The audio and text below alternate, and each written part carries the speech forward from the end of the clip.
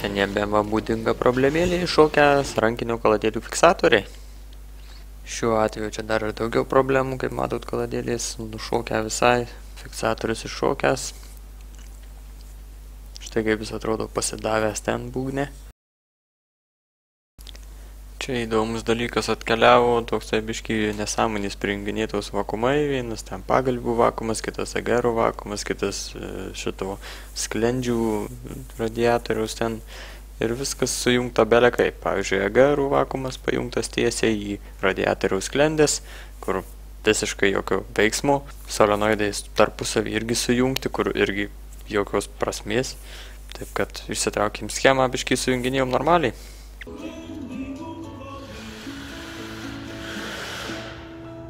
Kažkas pametė biškį spiruoklę nulūžusią. Du alkūniniai velenai, abu V8, 5 litrų jaguarų, 508 PS varikliukso, suprantate, ir BMW N63 varikliu 4.4. Kaip matom, cilindrų uždėstymas yra toks pat, abu tokiais pačiais kampais yra išdėstyti, taip sakant, kampu vienodu. BMW kažkodėl ilgesnis, taip sakant, pagal taip žiūrint, ilgis gali skirtis dėl to, kad galbūt cilindrai yra didesni, nors realiai, kiek atsimenu, lyg ir didesni jaguarų yra stumokliai. Tai va toksai gal įdomus, gal neįdomus dalykas, palyginimas. Čia buvo dar vienas M20B20 kapitalinis, šį kartą kolegai kliuvęs, varikliukas buvo taip sakant tvarkingai padilęs, gilzių nereikėjo daryti, tik prakoninguoti, stūmoklius dėjom kitus, nes jie buvo padilę, dar šiek tiek padengėm tuo tokiu specialiu dalyku ten, kuris ir padidino diametrą, kaip tik ko mums reikėjo ir pastiprino sienelę. Toliau tepalų siurblys dar kaip dažniausiai buvo pasivėlęs, keitėm. Biški bėda vydelį nutiko, monitorius nustojo veikti. Tai žodžiu greit pakankamai išsprendėm problemėlę, pasiėmėm kitą monitorių, savo seną dar atidavėm, toks visai neblogas dylas gavosi. Ir taip sakant, tas jausmas, kai turėjai didesnį monitorių, o šitas yra mažesnis. Užuojauta man. Bet ką darysi, šiaip tai labai nedaug skiriasi, 24 buvo, dabar 23 colių, taip kad čia skirtumo praktiškai kaip ir nėra. Ir kaip tik šiandien norėjau video montuoti, bet kadangi monitorius neveikia, tai nelabai išėjau, dabar turiu monitorių, tai pavyks video sumontuoti, taip kad geros žinios visiems. Keičiam M54 tevaliukus ir radom tokį filtriuką senoką jau. Jeigu kam kiltų klausimas, nors ir turbūt visi jau žino, jeigu jūsų EKM6 yra koilai, reikia trumpesnių stabilizatoriaus traukų, nes koiluose kitoje vietoje stabilizatorius sukasi biškai, čia TRV kodas yra nuo Mazdos 323F traukutį. Iš tos serijos, kai būna du variantai, vienas brangesnis, kitas pigesnis ir būtinai visada jūsų turi būti brangesnis. Tai va, čia labai mandras kažkoks filtras su kažkokio suokliu ar ve nežinau kuo. Pirmą kartą matau tokį bairį. Radiatorius išsipūtęs ir išsirietęs žemyn. Ta prasme, tos plokščios ten plokštelės, kuriuose teka antifrizas, jos išsipūtė nuo didelio slėgio. Tai fun radiatorius neoriginalus, tai kažkokia galimybė yra, kad šis kažkoks lievas yra, bet vis tiek, kad išpūsta aliuminę kamerą, tai biškai reikia slėgio. Kaip galima matyti, dar ir Balkijos alembliauką išplyšę šito BMW-kso. Tokie, nu, tiesiog matom, kad jau jie atplyšę yra nuo centro. Vaikščioja, kai kilnuojame šitą valkį. Vienoje ir kitoje pusėje.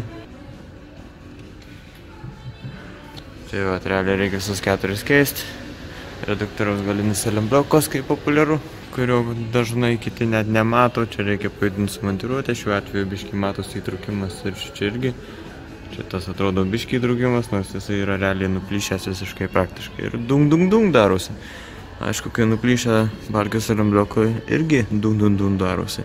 Ir plus dar, kai jie nuplyšę, didėja tikimybė išplyšti iš kėbulo šitom vietom balkio tvirtinimu, kaip yra čia biški lygeliai jų. O išplyšta realiai tai greičiausiai dėl to, kad jie yra išplyšę. Nu, ta prasme, arambliokai išplyšę, daužosi, didelis, taip sakant, didelis apkrovos gaunasi staigiaus kėbului ir tiesiog išlupa iš kėbulų.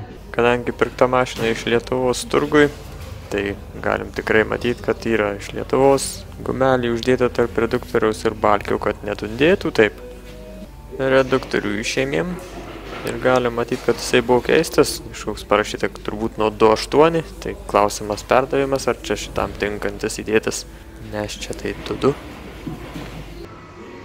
Linksminamės su balkiu. Išėmimo technika, tai pradžiai selim bloką išgręžti, išgrėžiau tą gumą likusią, tada įpjauti su europjukliu ir iškalt. Visus selim blokus pakeitėm, kad savininkas galėtų naktim ramiai miegot. Pakeisim dar voštų dangtelių tarpinę, kadangi jau tokiam amžiui jai du kartus atėjo galas.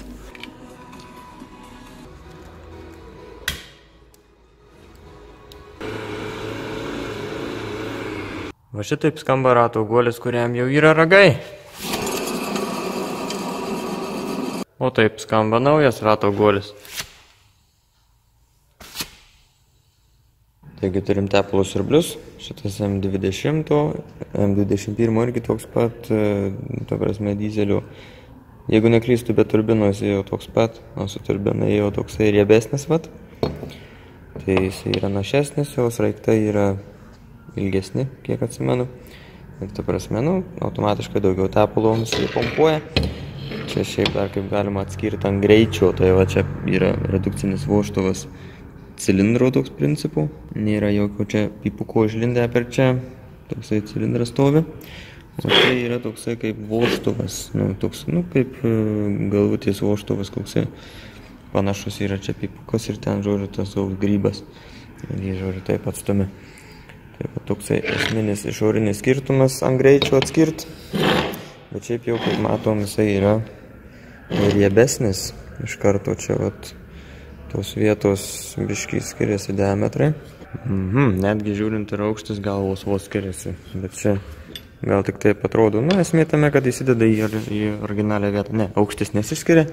Tai va, už tai jį galima dėti savo kuo puikiausiai į paprastą M20 variklį be jokių modų. Tik tai dar vienas dalykas yra, aplamai, kai visada dedam tepalo siurblį iš kažkokios, tai, nu, to prasme, mašinos, to prasme, keičiam siurblį, tai yra va šitai va skiriasi kaušeliai, kaip matot, paėmimas, paėmimo vieta.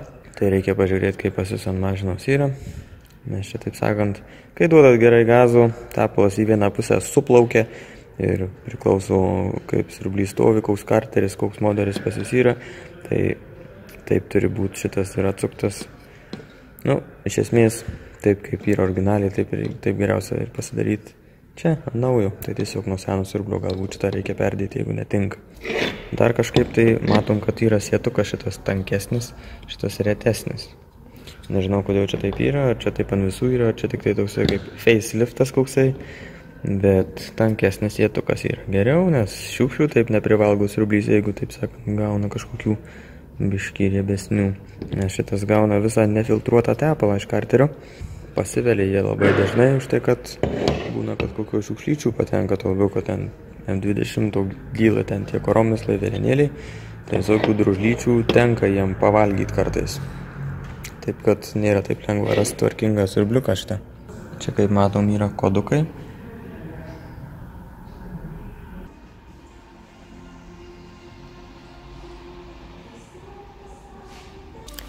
keičiam N47 be muksulo grandinės, taigi jos yra gale, dėžę reikia nusiimti kaip minimum arba išimti variklį šiaip geriausia.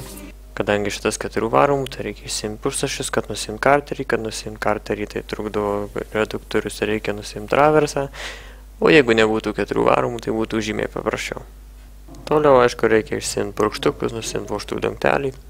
Na, o tada jau pobiškai galim pasileisti grandinės ir visas pakeisti. Na ir dar kartą norėčiau pasiskūsti įstatymų nesustygavimu, taip sakant. Susidūriau su tokia dabar problemėlė.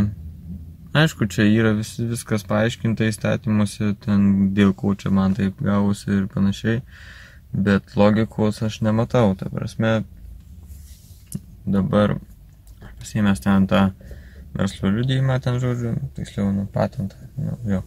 Tai žodžiu, pasiėmęs, bet dar nesumokėjęs ten to uh, draudimo, to prasme įmokų, ten kur turiu sumokėti, aš kai pasiėmiau liudijimą tą, Tai ten, aš neatsimenu, ar pusė metų, kiek aš ten jį ėmiau, ten žodžiu, tos draudimo visos įmokos apie 700 eurų ten. Tai esmė, kad tą sumą ten man sutaupyti ir sumokėti netaip lengva yra, kaip žinot. Tai žodžiu, esmė tame, kad aš dar nesumokėjęs, nu ten, sumokėti sumokėsiu, bet kad dar neužtaupiau tokio pinigo. Tai nueinu dabar pas ten daktarę, noriu nueiti ir tada sako, tu nedraustas Ir jeigu nori eiti, tai vizitas kainuoja ten 10 eurų. Nu, nesvarbu, esmė tame, kad turiu viską mokėti, skaitausi nedraustas. Bet kame yra kabliukas, tai aš dabar susimoku už tą vizitą, susimoku dar už kažką ten, t, t, t, t, t. Ir finalė aš vis tiek turiu tą draudimą sumokėti, už kurį aš dabar nesumokėjęs. Tai, tai kas per velnės, aš sumoku už visas paslaugas ir dar vis tiek turiu paskui sumokėti už tą draudimą, kurio nesumokėjęs. Tai, nu, kur logika va šitoje vietoje, tai aš niekaip nesuprantu. Norėčiau duoti dar tokį tipsą dėl šitų vat, būtent skardelių, kur yra tiesiog, nu, čia žodžiu, tokio kabės, kaip padaryta čia dėl tų vibracijų, cypimų ir panašiai, kad tą sukurtą prispaustų ir panašiai, nu, žodžiu. Žodžiu, šitas sprendimas toksai yra kvailas, nes čia įrūdyja pastovi ir panašiai, bent jau Lietuvos keliais tai dažna problema, žodžiu. Ir daug kas tai net, net, net nebando iškrapštyti, tiesiog šitus atlenkia ir nuima suportą, paskui uždeda ten, žodžiu, vėl užlenkia. Tai esmė tame, kad tai yra blogai dėl kelių priežasčių, kad šitas dratukas į tą skylę dar labiau įrūdyja su laiku. Kitas dalykas, tai mes lankstom ir ties šitą vietą maždaug nusilanksto kažkelintą kartą atlenkus ar užlenkus. Ir dar vienas dalykas, kad kai užlenkėme, vis tiek jis neatsistoja taip jau pilnai į tą vietą, kur reikia. Nu, žodžiu, vieni minusai. Tai aš ką darau, tai bet kokiu atveju visada iškrapštau ir kaip šiuo atveju buvo jie įrūdyję, nejudėjo, tai nukerpau per vidurį, ta prasme, kad galėčiau pasukinėti. Ir tada ėmi su replėm prie pat šitos vietos, va tai, va, ir bandai pasukinėti. Jeigu sukinėsi gerai, jeigu nesisukinėjai, nu, tai ką darysi, nulūšta lieka galiukas. Tai toliau tada žiūrėsim, ką toliau daryti. Anoje pusėje man kaip tik jisai nulūžo, nu jau ne pirmą kartą nulūžo. Buvo ir anksčiau, bet ką darysi, taip yra, kai, taip sakant, kiti čytina, o tu turi padaryti normaliai. Dar vienas tipsas, kaip iš viso pati pradžia, kai bandyti išimti, tai aš pasiėmiau šešių raktelį, tiesiog kuo mažesnį ten, tuo geriau. Ir tada taip užkiši tarp to dratuko ir suporto ir taip sakant, šitaip atl... taip lenki ir gaunasi, kad jis pat talkūnė gaunasi, kad traukimas ir jo nelaužia ir daugiausiai šansų, kad jisai išsitrauks. Nu, bet šiuo, šiuo atveju, sakau, jis buvo įrūdyjęs, tai iš karto čia nukirpau, tada taip sakiuojant iš, išsitraukė, anoj pusėje vienas nulūžo, taigi šitas va viršutinis nulūžęs, apatinis išsitraukė irgi. Ir ką mes toliau dabar darysim su to nulūžusiu, tai čia yra iš kitos pusės skilutės, Viena čia, kur nelabai matosi, kita čia, vat, esmė, kad keurai yra tos skylės. Eina viskas keurai čia. Tai iš kitos pusės mes pasimsim ir su, taip sakant, nu, iš esmės bet kuo, kas lenda į tą skilutę, įstatysim ir su plaktuku iškalsim tą įstrigusį gabaliuką. O toliau visos kitos skylės tai mes pravalysim, o pravalysim labai paprastai, pasiimi šitą dratuką, įkiši per tą skilutę sukiojant, prasukioji, kad tiesiog jisai vaikščiotų lengvai ir viskas išvalyta. Arba galima su grašteliu, tik tai reikia nepadidinti skylės, o nu, esmė, kad su šitu visai gerai variantas, nes jisai padaro skylę tokios, tokią, kokio reikia diametro. O šitų nusipirkti yra visai ne problema, ten maždaug nuo 5 iki 10 eurų, ten nežinau, 10 eurų, tai čia kokio baisaus gamintojo, nebent. Esmė, kad nieko brangaus ir tikrai verta padaryti normaliai. Čia abiejų pusių komplektas turiu galvoj. Taigi, principė, šitą likusį kaiščiuko galiuką mes iškalinėjom su daug reikalu, bet kadangi jisai yra plaunas, ilgas toksai, tai amortizuoja labai, būna, kad surinksta. Tai galim pradžią padaryti su tiesiog žvaigždutė ar šešiakampiu, kuris tinka, kuris lenda į tą skilutę ir neužstringa, kad jau pačio neįstrigdint ten. Taip sakant, pradžią padaryti, tada jau galim damušti su šitu. Nebent yra nestipriai įstrigę. Tai taip sakant, galima nerizikuoti, nes šitą labai lengva sulankstyti. Įvarėm čia dabar tirštuotą paliukų, tada įmetam naują kabykę, kabę ir praktiškai yra mūsų mašina jau pasiruošus žiemos keliams.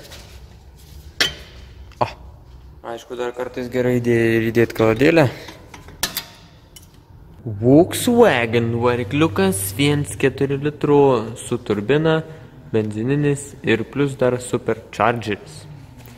Toksai kombo, kažkada labai gyrėsi Volkswagen šitų varikliukų. Tai na, jis čia ką, kilovatų pagal litražą nemažai spaudžia ir panašiai ten, sakykim, momentas nuo mažų sūkių ir taip toliau ir panašiai, bet kaip matau, čia yra toksai palopimas. Na, čia su tuo nelabai ką susiję, bet tiesiog būtent toks varikliukas čia yra. Ir ką mes turim, tai va tokį palopimą, tai tepalai šiek tiek bėga per tą vietą. Tai reiškia, kad čia kažkaip tai įtrūkę kažkas tai yra, lelele. Reiškia, čia mes apverčiam varikliuksą ir randam čia virinimo siūlių. Taip pat matom, ten dar yra daugiau įtrūkimų, prasiplėtusių, atsiradusių, ar tai kaip kažkaip tai. Tai reiškia, kad čia biškai kažkodėl tai kažkas tai buvo smūgis. Tai koks čia smūgis buvo, taip švaistiklis greičiausiai buvo užlindęs ir padarė tą skiltę ten, čia dabar taip, taip užvirinta, nu, buvo, bet nepilnai ir, nu, kažkas, žodžiu, trūko toliau ar kažkas tokio. Taip kad ką, išsardėm šitą varikliuką, čia problema buvo, problema tokia pagrindė, kad tepalą valgiai, dar beje čia įsitraukęs tumoklį, tai pamatėm, kad jisai kreivai biški toksai dirbęs, tai reiškia, kad tas pas švaistiklis, kuris išlindo čia, per tą bloko šoną, tai reiškia buvo tas pats švaistiklis ir panaudotas antrą kartą. Nes, nu, tiesiog kreivai stovėjo stumoklis ir jisai kreivai dirbęs, tiesiog matosi ten.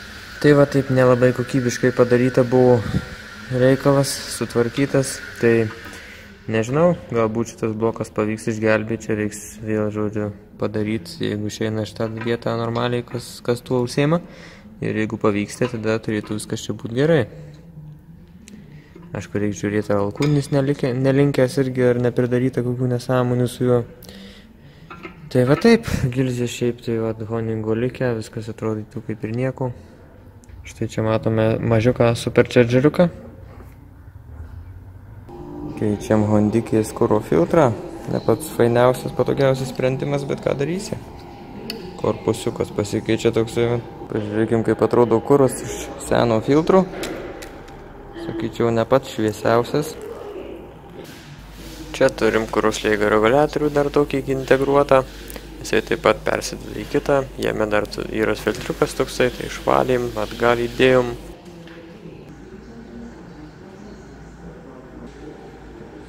Na ir žodžiu, surinktas visas reikalas atrodo šitaip.